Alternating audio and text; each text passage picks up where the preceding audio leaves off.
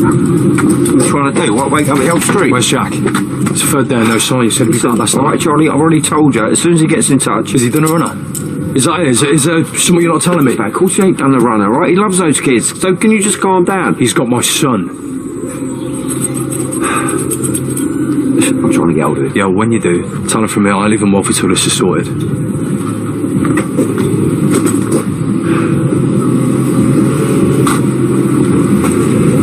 Son.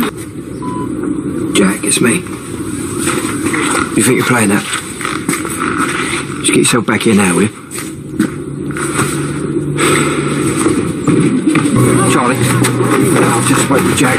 Matthew's fine. Everything's fine. I've been this close to calling the police. Listen, he's on his way back. Right, let's, let's go somewhere. I'll explain.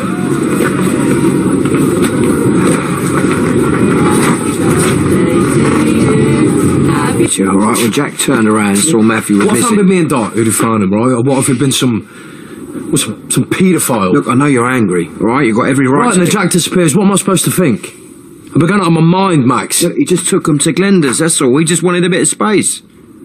He's a good man and he's a good dad. He's, he's had a horrible time of it since Ronnie died. He's got work, he's got three kids. Amy's got chicken pox. All right, listen to me. He took his eye off the ball for one second. Yeah. Here, I've, I've got... I put extra sugar in the bowl in case you need it. Yeah, not for me, thanks, Dot. Um, listen, I'm going to go back and, and wait for Jack and... I will, I'll get him to talk to you. Okay. All right, see you later.